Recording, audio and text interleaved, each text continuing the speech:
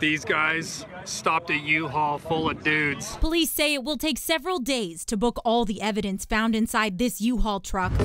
Saturday, authorities surrounded the truck just down the street from a Coeur d'Alene Pride event. Inside, 31 men, homemade shields, shin guards, and other riot gear. There were quite a few officers there because we got information there was at least 20 people in a U-Haul. We want to make sure we had adequate resources, and frankly, with the the quote that we received through dispatch was it, quote, looked like a little army that was loading up into the vehicle. Police charging all 31 with conspiracy to riot, noting they planned to swarm several parts of Coeur d'Alene and carried paperwork similar to an operations plan that a police or military group would put together. They traveled to Idaho from 11 different states across the country. Five of the men are from Washington all allegedly united by white nationalism. The majority of them had logos on their hats that were consistent with the Patriot Front group that you would see online. The Southern Poverty Law Center calls the Patriot Front a white nationalist hate group. It says the group formed following the deadly Unite the Right rally in Charlottesville, Virginia in 2017.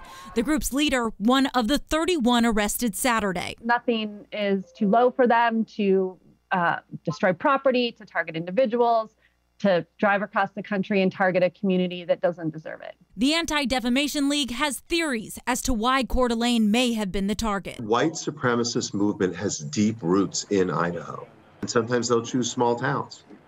Less security, easy to show up, less resistance.